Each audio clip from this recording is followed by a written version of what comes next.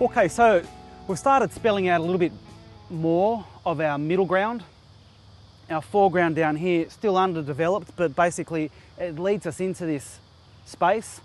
Our background, we've put down just a singular direction with our graphite stick.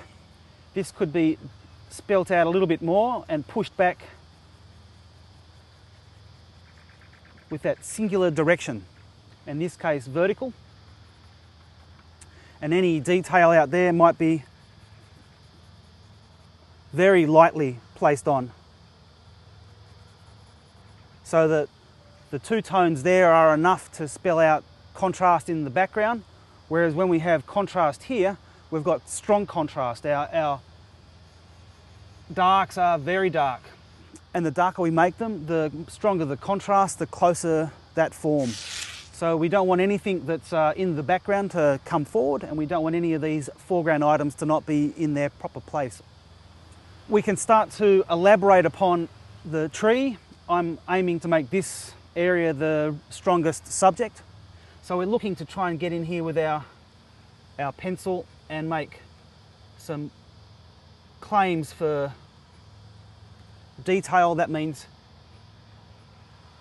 closing into the drawing, getting drawn in, trying to understand or really actually look at your subject closely and understand what it is you're seeing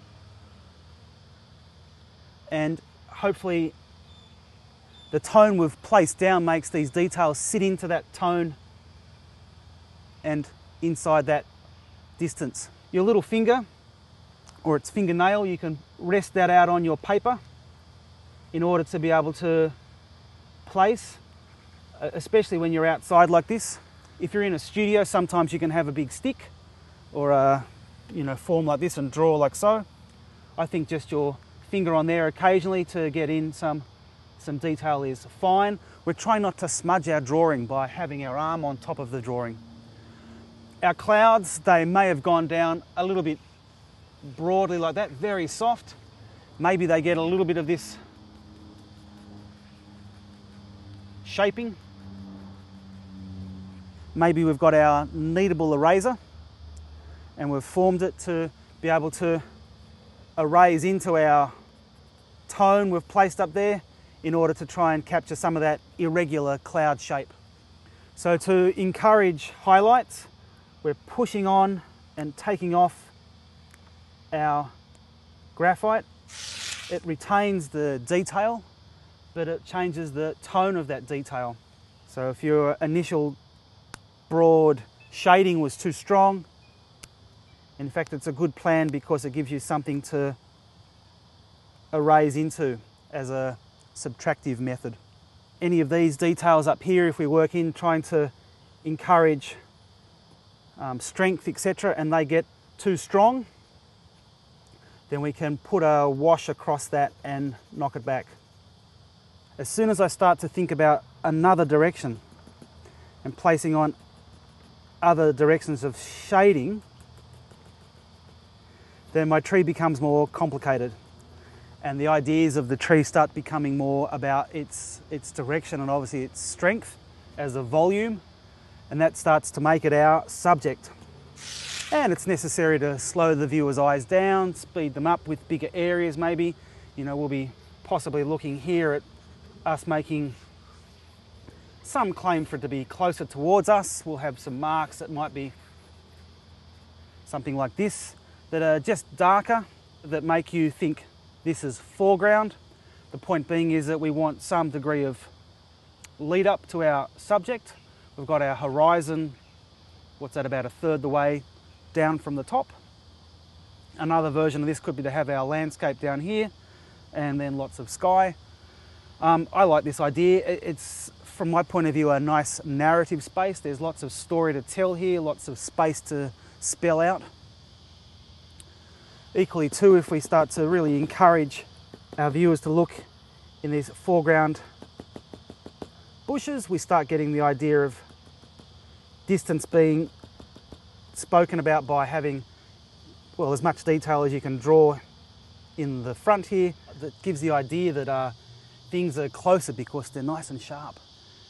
It allows our eye to wander across the scene it allows us to start thinking about distance.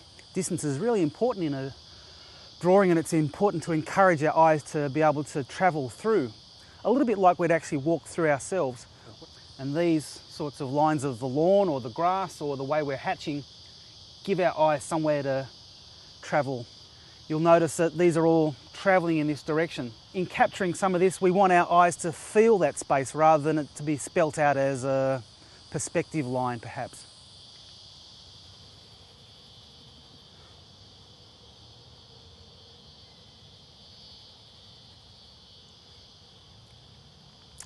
So, an interesting situation where we have a light tree going through a dark area.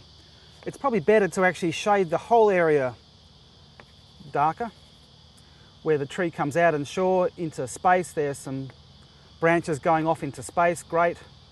Because it's up in the corner, we're not going to make it too strong, we're just going to give it some idea. But if we get our sharper razor, it means that when we actually come to draw our lightened tree, we can actually erase into that tone. So we're leaving this area up here a little underdone, a little undrawn. Simply put, we don't want our eye taken out the corner by too much detail up there. So the suggestion of it is by far enough. Often our foreground or our groundwork has some light lines. And it's a really interesting point because a light line is just as informative as a black one. The best way to remove the rubble from your eraser is to use a brush. This is a large hake brush with a nice soft bristle. So if I've been erasing with my eraser and so on and cutting some marks, I can then go into this with that and lightly take that off.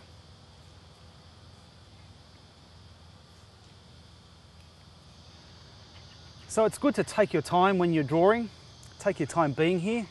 The scene has a lot of information and it's really exciting to spend the time and do it in a relaxed fashion. So I can see still more detail to do. We can put more detail into the ground so that the ground seems solid and we're putting perhaps a slightly second direction so that the slope goes up and then tilts. There's then this direction across the other side. I think that could go a little lighter. I'm going to push my eraser onto there and lighten that distance. So we're adjusting some of these values, some of the strength. You'll notice I'm pushing some areas back and drawing some areas forward. So there's a real and conscious attempt to try and make the short strokes representing these nice fine and spiky trees and their different directions. So the general feeling is there. So here there's a tree with lots of very fine vertical spiky leaves. I've given it a long mark and then when inside that there are some smaller versions but all this kind of vertical telling. This is about trying to understand how the different graduations of tone they're dark underneath it's light on top almost like a ball. So some of it is pure description and other things are trying to give the idea of something. So over here we've got the idea of something so that our eye doesn't go out the edge with too much detail the same as up here where we're just sort of playing down the extremities putting our energies into a certain area, you know, trying to make your viewer dwell and search and look, but stay here rather than go out. So I'm using a very fine, sharp pencil and getting in here and starting to give some direction to those smaller areas and trying to describe some of those sharp pine needles, the different textures in this tree, and give more understanding to what I'm seeing.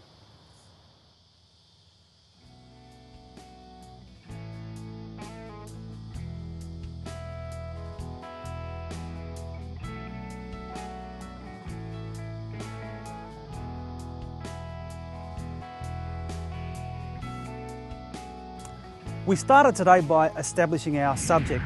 We were looking at a frame, I was putting my hands up like this and trying to work out what would fit into the drawing. Secondly, we looked at the perspective and the space.